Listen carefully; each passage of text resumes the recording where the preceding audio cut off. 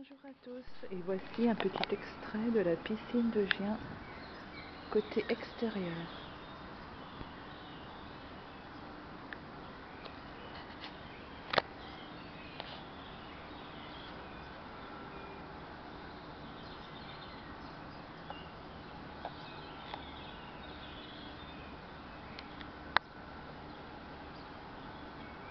À bientôt